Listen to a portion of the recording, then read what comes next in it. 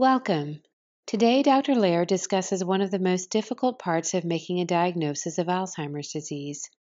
How do you give your patient the diagnosis without making the future seem hopeless?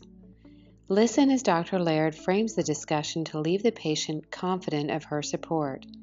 For anyone facing a chronic illness, knowing you have a trusted professional to turn to is especially important.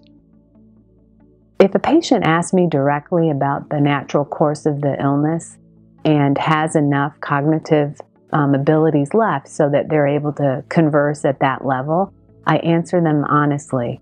I always do add that we will be there to support them and be sure that they understand that we're not going to abandon them even when things get difficult. I've often found that that's really what becomes most important to patients who do understand the natural course of this illness. But for a lot of patients, the here and now at the time you're making the diagnosis, it's most important to let them know you're not going to abandon them, that you're going to help them and help support them through any symptoms that they have. They also want to know that you're going to help their families if they have them. And they want to know that their caregivers aren't going to be burdened by them. And all of those things can be helped if you include the Alzheimer's Association uh, as a way of partnering with you in helping care for these patients over the long course of this illness. In that way, I think you can honestly give hope to these patients and their families, even though, of course, the natural course of these illnesses is difficult.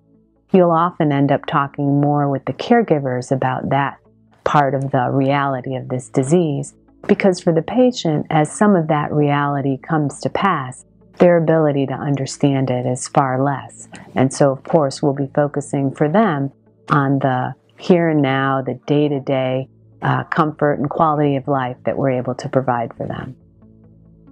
It is easy to connect your patients to the Alzheimer's Association's safety net of free community based programs. Ask your office staff to call 1 800 272 3900 to register the person with dementia and their family caregivers. Upon the registration, the Alzheimer's Association will provide a free consultation with a helpline specialist. They will also send an electronic newsletter and a personalized health management packet. Hope is a very powerful thing and is only a phone call away.